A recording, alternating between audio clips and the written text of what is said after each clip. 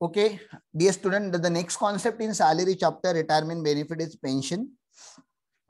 In Hindi we से जिसे मिलती है पेंशन उसे नहीं होता टेंशन तो पहले तो मैं आपको एक बेसिक सा केस स्टडी देता हूँ। मुझे बताओ, अगर ये अप्रैल है और ये मार्च है, और आपने अगर दिसंबर में रिटायरमेंट लिया हुआ है, अगर आपने दिसंबर में रिटायरमेंट लिया हुआ है तो क्या हो सकता है आपके साथ? डेटा ऐसे आएगा। Salary fifty thousand rupees per month हमें तो पूरे प्रीवियस ईयर का डेटा चाहिए ना। प्रीवियस ईयर 2021 का डेटा चाहिए। तो उन्होंने सैलरी पर मंथ दिया है fifty thousand rupees per month तो मुझे एनुअलाइज सैलरी करने के लिए कितने से मल्टीप्लाई करूँ मैं यहाँ पे?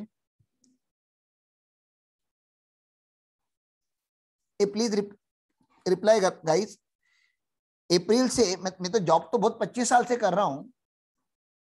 दिसंबर एंड पे मेरा रिटायरमेंट हो गया। और क्वेश्चन में डेटा दिया गया salary fifty thousand rupees per month लेकिन मैं तो इनकम कंप्लीट करता हूँ होल प्रीवियस ईयर का। तो मैं कितने मंथ से मल्टीप्लाई करूँ यहाँ पे?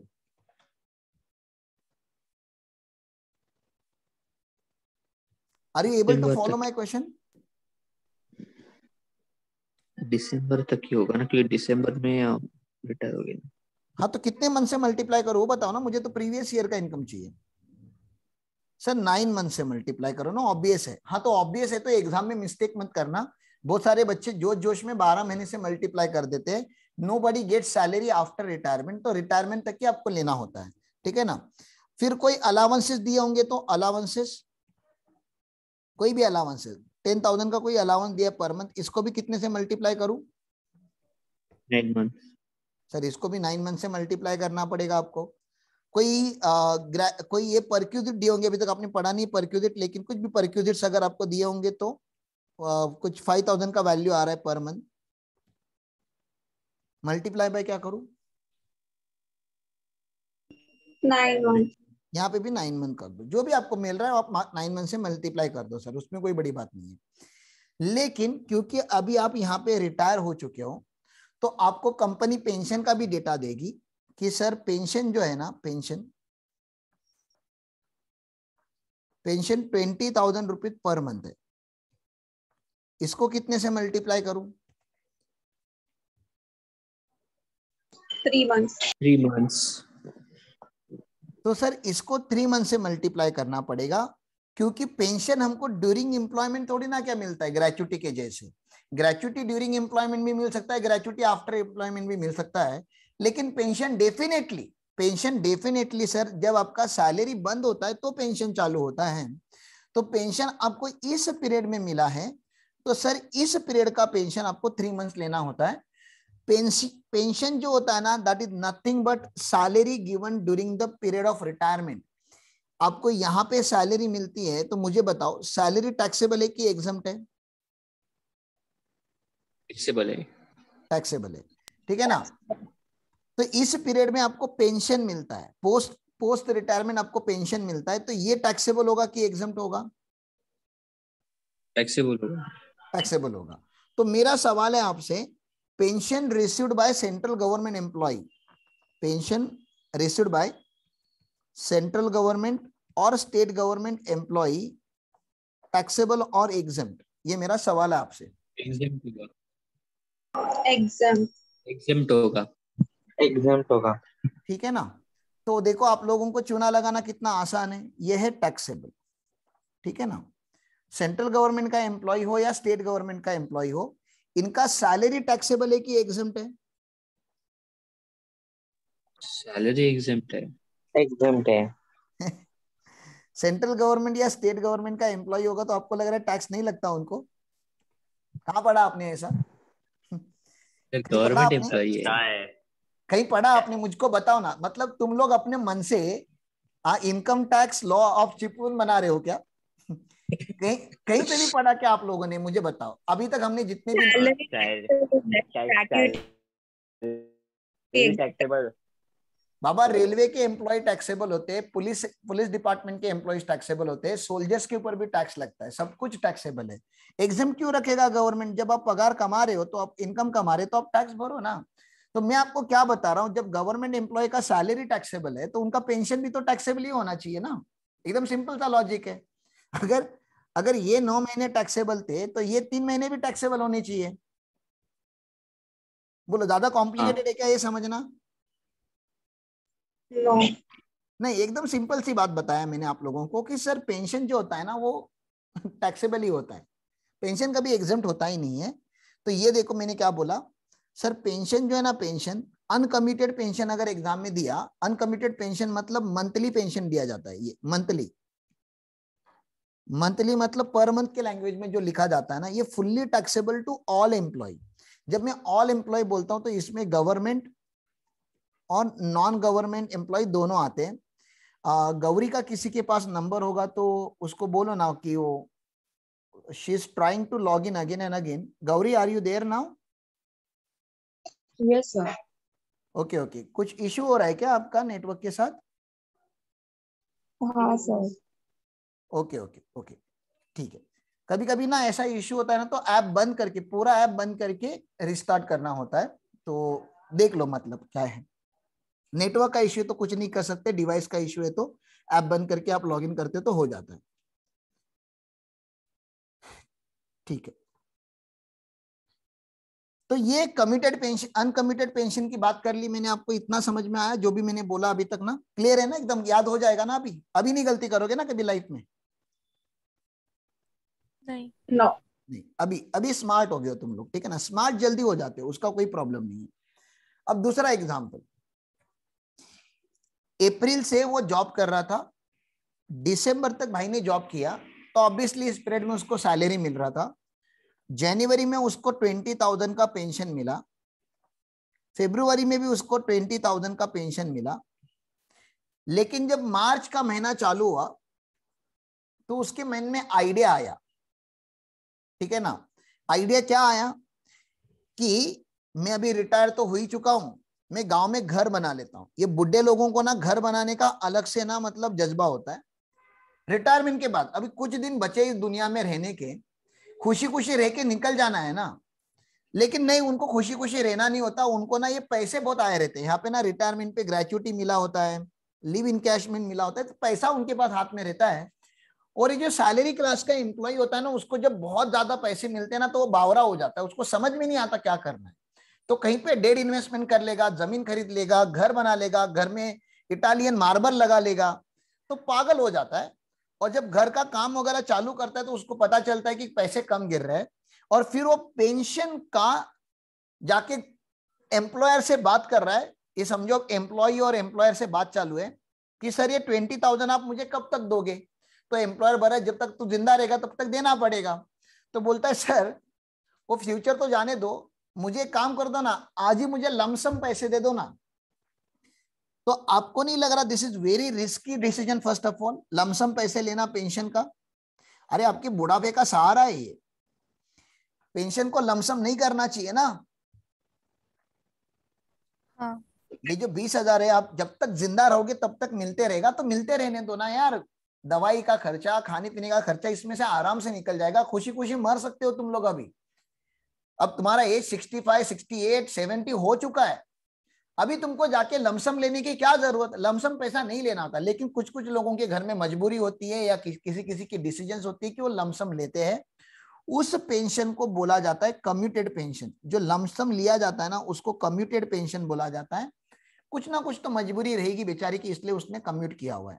लेकिन क्योंकि हमें डिस्करेज करना है कम्यूटेशन हमें डिस्करेज करना है हम नहीं चाहते कि एम्प्लॉयज़ को कम्यूटेशन मिले, हम डिस्करेज करते हैं, इसलिए हमने इसको टैक्सेबल भी रखा है और एग्ज़ाम भी रखा है। मतलब ये फुल्ली एग्ज़ाम नहीं होगा फुल्ली टैक्सेबल भी नहीं होगा, कुछ इसका कंपोनेंट एग्ज़ाम होगा, कुछ इसका कंपोनेंट टैक्सेबल होगा।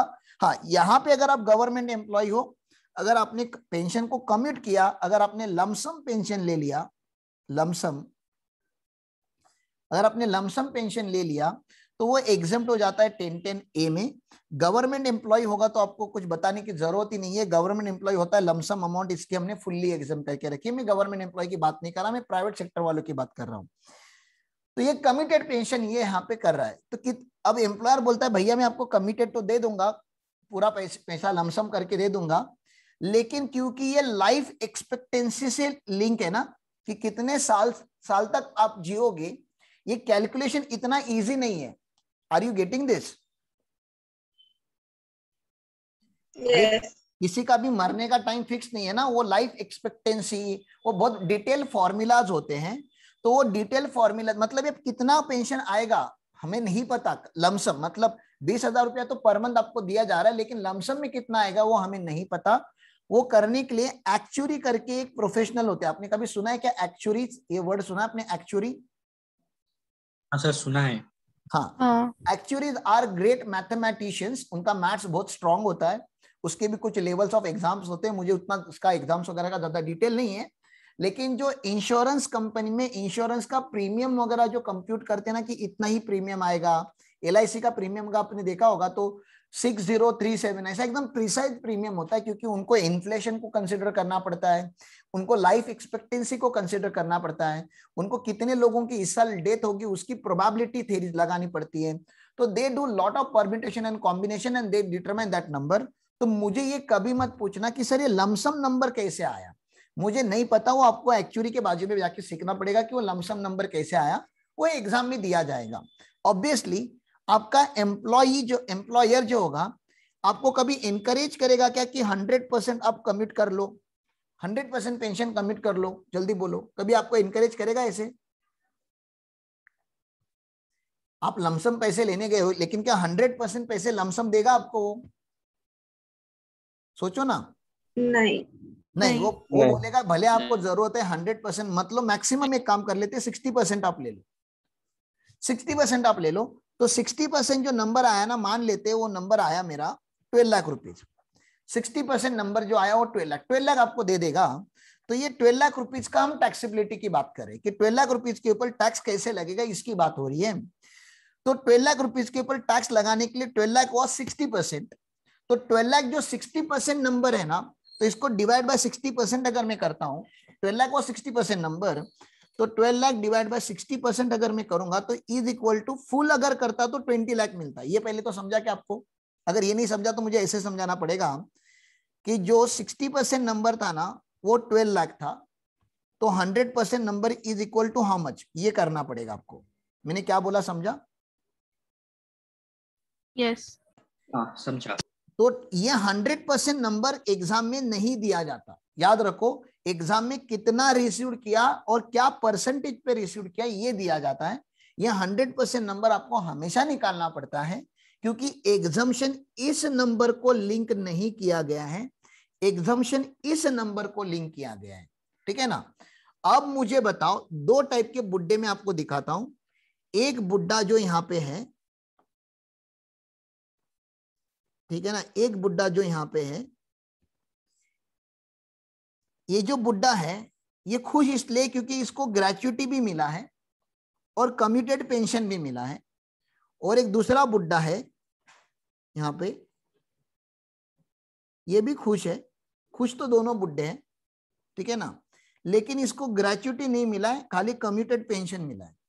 दो बुड्ढों में, बुड्ढा नंबर वन बुड्ढा नंबर टू या टकलिया और बाल वाला बुड्ढा, जैसा भी आपको बोलना है, आप मुझे बता दो ग्रेचुटी का एग्जम्पशन ज़्यादा किसको दो? ग्रेचुटी का नहीं कमिटेड पेंशन का एग्जम्पशन ज़्यादा किसको दो? एक बुड्ढे को ग्रेचुटी विदाउट ग्रेट को नहीं मिला। विदाउट ग्रेचुटी वाले को ज़्यादा देना पड़ेगा। वेरी गुड क्योंकि सर इसको दो पैसे मिले हैं दो लमसम पैसे मिले इस बेचारे को एक ही पैसा मिल रहा है लमसम में। तो हमने यहाँ पे वन बाय टू रख दिया। वन बाय टू मतलब fifty percent of twenty lakh fifty percent of twenty lakh हम एग्ज़ाम कर देंगे ठीक है ना? अगर fifty percent of twenty lakh of gross commuted pension gross commuted pension हम यहाँ पे एग्ज़ाम करेंगे। मेरे एग्ज़ाम्पल की अगर मैं बात करूँ तो 20 लाख का 50 परसेंट होता है 10 लाख। मुझे मिला था 12 लाख तो खाली 2 लाख टैक्सेबल होगा। Are you getting this yes ये समझा आप लोगों को मैं क्या बता रहा हूँ? क्योंकि इसको ग्रेचुटी नहीं मिला था fifty percent of total gratuity will be exam तो टोटल वाला नंबर मैंने पहले लिखा के रखा था, उसका फिफ्टी परसेंट दस लाख होता है, मुझे मिला था बारह लाख, बारह में दस का चला गया, दो लाख रुपए टैक्सेबल लेकिन अगर ग्रेचुटी रिसिट वाला बुड्ढा होगा और उसको भी कमिटेड पेंशन मिला होगा तो गवर्नमेंट बोलता है, इसको तो ज़्यादा एग्जामेशन देने की ज़रूरत नहीं, इसको one third of gross number exam करो। इसका one third of gross number exam करो। तो बीस लाख का वन थर्ड अगर मैं करता हूँ तो आता है six lakh six lakh sixty seven thousand ठीक है ना? Six point six six. Six तो वो माइनस कर दो आप। तो तो ट्वेल्व लाख में से अगर मैं माइनस करता हूँ सिक्स पॉइंट सिक्स सेवन तो मेरा टैक्सेबल वैल्यू आ जाता है फाइव पॉइंट थ्री थ्री। यहाँ पे taxable five point three three आता है यहाँ पे टू लाख टैक्सेबल आता है। बोलो समझ रहे आपको? जो ग्रेचुटी रिसीव हाँ, वाला है उससे हम ज़्यादा टैक्स लेते हैं जो ग्रेचुटी नॉट रिसीव वाला है उससे कम टैक्स लेते हैं। ये क्लियर है क्या? यस यस सर क्लियर है। यस ये हाँ। क्लियर है। अब मुझे तुम खाली इतना बता दो, मार्च महीने में मुझे ग्रेचुट मार्च महीने में मुझे पेंशन मिलेगा कि नहीं मिलेगा? जो मंथली पेंशन होता है ना, यहाँ पे तो मैंने कमिट कर लिया सिक्सटी परसेंट उसका टैक्सेबिलिटी बढ़ा दिया मैंने, बारह लाख रुपया यहाँ पे मैंने ले लिया है। तो मार्च महीने में मुझे पेंशन मिलेगा कि नहीं? और मार्च के आगे भी, ज़िंदगी भर तक मुझे पेंशन मिलेगा कि नहीं मिलेगा, ये पहले बता दो।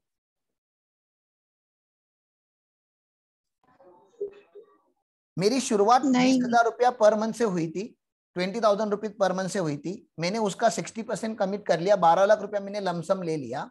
अब मुझे बची हुई मेरी ज़िंदगी में मुझे पेंशन मिलेगा या नहीं मिलेगा?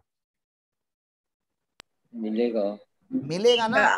हंड्रेड परसेंट कहा मैंने कमिट किया है? मैंने खाली सिक्सटी परसेंट कमिट किया है ना? तो मिलेगा कितना मिलेगा वो मैं पूछ रहा हूँ। परसेंटेज में मैं बता देता हूँ फोर्टी परसेंट लेकिन फोर्टी परसेंट किसका निकालो? फोर्टी परसेंट कौन से अमाउंट का निकालो? जल्दी बोलो ना हर महीने मिलने वाला है ये।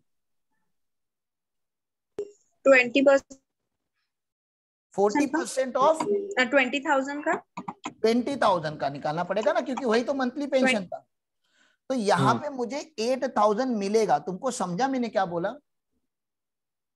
हाँ समझा सर। लाइफ टाइम तक ये मिलते रहेगा। लाइफ टाइम तक मिलते रहेगा मिलते रहेगा। जब तक मैं ज़िंदा हूँ तब तक मिलेगा अभी। ठीक है ना? तो ये होता है पेंशन का पूरा का पूरा कॉन्सेप्ट कॉन्सेप्ट समझा तो हम क्या करेंगे? हम पहले थेरी पढ़ लेते हैं। थेरी पढ़ने के बाद एक क्वेश्चन सॉल्व करेंगे। क्वेश्चन सॉल्व करने के बाद अपना पूरा क्लियर हो ही जाता है। तो फटाफट मैं आपको कॉन्सेप्ट पढ़ा देता हूँ। देखो कॉन्सेप्ट क्या मैंने पढ़ाया। सबसे पहले तो मैंने बोला पेंशन में कि, सर अनकमिटेड पेंशन होगा तो गवर्नमेंट एम्प्लॉय होने दो या प्राइवेट सेक्टर एम्प्लॉय होने दो फुल्ली टैक्सेबल मंथली पेंशन जो मिलता है ना, ये फुल्ली टैक्सेबल उसमें कोई डिस्काउंट नहीं। जो कम्यूटेड पेंशन होता है ना सर वो टेन टेन ए में एग्ज़ाम होता है और ये एग्ज़ाम किस तरीके से होता है? गवर्नमेंट एम्प्लॉय होगा लमसम पेंशन की कुछ तो मजबूरी रही रही होगी बेचारे की, जो उसने कमिट कर लिया। तो हमने बोला गवर्नमेंट एम्प्लॉय होगा तो फुल्ली एग्ज़ाम करो अदर सेक्टर एम्प्लॉय होगा तो पूछो उसको कि ग्रेचुटी भैया आपको मिला है? उसने बोला हाँ तो वन थर्ड कर देना। उसने बोला, ना तो वन बाय टू कर देना। तो आपको पता है one by two is greater number तो फिफ्टी परसेंट होता है और थर्टी थ्री परसेंट होता है। लेकिन ये निकालना किसका होता है? फुल अमाउंट का निकालना होता है। गलती यहाँ पे स्टूडेंट क्या करते हैं एग्ज़ाम में? जो मिला है उसका वन थर्ड या वन बाय टू निकालते हैं। वो रॉन्ग है, वैसे नहीं करना है। फुल अमाउंट पहले निकालना होगा। Sir, full amount of pension कैसे निकालेंगे? एग्ज़ाम में आपको कमिटेड पेंशन दिया जाएगा और परसेंटेज ऑफ़ कमिटेशन दिया जाएगा। उसको डिवाइड कर दो तो उससे फुल अमाउंट आ जाता है। सर, टैक्सेबल कमिटेड पेंशन निकालना होगा तो? तो pension, committed pension received minus pension exempted under ten ten A कर लोगे तो बैलेंस जो हो जाएगा वो टैक्सेबल आ जाएगा। फिर मैंने एक नोट बताया आप लोगों को यहाँ पे जो बहुत ही इंपॉर्टेंट नोट है। मैंने बोला sir do not forget please लिखता हूँ मैं इसके आगे। आप लोगों से हाथ जोड़ के प्रार्थना करता हूँ कि please do not forget to take uncommuted pension after commutation commutation होने के बाद भी अनकमिटेड पेंशन चालू रहता है। मेरे एग्ज़ाम्पल में 60 परसेंट कमिट करने के बाद भी 40 परसेंट का साइकिल चालू रहता है, इसको भूलो मत। ये मेरा आप लोगों से रिक्वेस्ट है। बहुत ही हाथ जोड़ के मैं आपसे रिक्वेस्ट कर रहा हूँ कि प्लीज़ इसको मत भूलो, ठीक है ना? तो ये पेंशन का कॉन्सेप्ट हो गया। मैं अभी आप लोगों के लिए एक क्वेश्चन दे रहा हूँ। आप लोगों को उस क्वेश्चन को रीड करना है और मुझे इसका आंसर निकाल के देना है, फटाफट। देखो, mister Sagar, who retired on 1st October 2020 is receiving 5000 per month as a pension मुझे तो बोलो 5000 पर मंथ मतलब है कमिटेड है कि अनकमिटेड है? अनकमिटेड है। ये अनकमिटेड है। ये टैक्सेबल है कि एग्जाम्प्ट है? टैक्सेबल है। ये टैक्सेबल टैक्सेबल ये फ़र्स्ट अक्टूबर को रिटायर हुआ है तो तुम समझते हो ना? अप्रैल से तो पेंशन काउंट नहीं करोगे ना आप अक्टूबर से ही काउंट करोगे ना ये अगर आपका ईयर होगा तो आप अक्टूबर से चालू करोगे ना यहाँ पे तो मिला ही नहीं होगा ये पेंशन हाँ। तो अक्टूबर में मुझे फाइव थाउज़ेंड मिला। फिर आगे जाके देखो उसने बोला फ़र्स्ट फेब पे फ़र्स्ट फेब पे। फेब के महीने में उसने क्या कर लिया? सिक्सटी परसेंट पेंशन कम्यूट कर लिया। तो अक्टूबर, नवंबर, दिसंबर, जैन, ये चार महीने होते हैं। यहाँ पे five thousand five thousand five thousand इसको मिला होगा। फिर उसने क्या कर लिया? सिक्सटी परसेंट कम्यूट कर लिया। जो कम्यूट किया भाड़ में जाने दो। मुझे बताओ फेब और मार्च में उसको पेंशन मिला होगा कि नहीं मिला होगा? मिला हुआ फोर्टी परसेंट फाइव थाउज़ेंड कितना कितना कितना? अमाउंट बता दो ना प्लीज़ हाँ तो यहाँ पे टू थाउज़ेंड टू थाउज़ेंड मिला होगा। तो टोटल उसको देखो ना पूरे साल भर में ये ट्वेंटी थाउज़ेंड होता है और ये फोर थाउज़ेंड होता है। ट्वेंटी फोर थाउज़ेंड इसको साल भर में अनकम्यूटेड पेंशन मिला है। बोलो ये ट्वेंटी फोर थाउज़ेंड निकालना ही डिफ़िकल्ट होता है। बाकी तो आसान है। Sixty percent pension three lakh rupees मिला था। तो मुझे फुल पेंशन बता सकता है क्या कोई कि फुल पेंशन कितना आएगा? फुल पेंशन कितना आएगा? ये जल्दी बोलो फुल पेंशन कितना आएगा? अगर थ्री लाख सिक्सटी परसेंट है तो फुल पेंशन कितना आएगा? कमान मैंने इतना time five lakh rupees full pension three lakh divide by sixty percent is equal to five lakh अब हम बात करेंगे एग्जामेशन की ठीक है ना? गवर्नमेंट एम्प्लॉय होगा तो कितना टैक्सेबल गवर्नमेंट एम्प्लॉय होगा तो सर वो तीन लाख रुपया मिला तीन लाख रुपया एग्ज़ाम हो जाएगा तभी टैक्सेबल आ जाएगा ट्वेंटी फोर थाउज़ेंड ये वाला टैक्सेबल होगा। गवर्नमेंट एम्प्लॉय को भी ये टैक्सेबल अनकमिटेड सबको टैक्सेबल प्राइवेट सेक्टर एम्प्लॉय होगा received gratuity of five lakh कितना मिला वो इंपॉर्टेंट नहीं है। ग्रेचुटी मिला है तो पाँच लाख का कितना परसेंट एग्ज़ाम हो जाएगा फिर यहाँ पे? कितना? वन बाय ग्रेचुटी मिला है। वन बाई थ्री तो five lakh divide by three करो तो आपका आंसर आएगा one lakh sixty six thousand six six six तो सिक्स सिक्स सेवन कर लो उसको। तो यहाँ पे कितना टैक्सेबल आएगा? टैक्सेबल ग्रेचुटी कितना आएगा? जल्दी बोलो। पहला लमसम वाला बता दो, तीन लाख आपको मिला था। तीन लाख मिला था, उसमें का one sixty six six six six six six six exam हो गया। तो one thirty three three three three taxable हो जाएगा एम आई राइट। प्लस ये ट्वेंटी फोर थाउज़ेंड तो था ही था। तो one thirty three plus twenty four thousand अगर मैं करता हूँ तो मेरा आ जाता है। Fifty seven fifteen seven one fifty seven fifty seven thousand three three three ये टैक्सेबल ग्रेचुटी आ जाएगा। Private sector employ did not receive any gratuity sir इसने ग्रेचुटी मिला ही नहीं इसको। मिला नहीं तो कितना? फाइव लाख का कितना exam five lakh divide one by two one by two one by two तो two point five lakh exam हो गया। मिला तो कितना था? मिला कितना था? थ्री लाख मिला था थ्री लाख तो इसमें से तीन लाख थ्री लाख माइनस कर दो। तो फिफ्टी थाउज़ेंड जो आप, आपका आता है टैक्सेबल ग्रेचुटी में फिफ्टी थाउज़ेंड लमसम वाला आ गया। और ऊपर का ट्वेंटी फोर थाउज़ेंड तो था ही हो तो सबको ही होना है। तो इसका answer seventy four thousand taxable taxable taxable exam ये ये कंफ्यूजन भी होता है। हम लोग टैक्सेबल की बात करें। क्वेश्चन ने बहुत क्लियरली बोला है कि टैक्सेबल निकालो एग्ज़ाम नहीं निकालने बोला है उन्होंने ठीक है ना? तो ये बात क्लियर है। कर लोगे होमवर्क में ये क्वेश्चन जल्दी बोलो। ये देखो मैं दिखाता हूँ आपको आंसर यहाँ पे ट्वेंटी फोर थाउज़ेंड मिला है अक्टूबर टू मार्च ठीक है? अक्टूबर टू मार्च में अक्टूबर नवंबर दिसंबर जैन ये चार महीने का फाइव थाउज़ेंड मिला था। और फिर आगे फोर्टी परसेंट मिलेगा ये भूलो मत। ठीक है ना? ये मिलते ही रहेगा। तो ये टू मंथ का था तो ये ट्वेंटी फोर थाउज़ेंड आ गया। क्योंकि ये गवर्नमेंट एम्प्लॉय है थ्री लाख मिला थ्री लाख एग्ज़ाम नील आ गया तो नेट ट्वेंटी फोर थाउज़ेंड आ गया। प्राइवेट सेक्टर एम्प्लॉय अगर होता तो क्या होता सर ट्वेंटी फोर थाउज़ेंड तो ये आना ही था।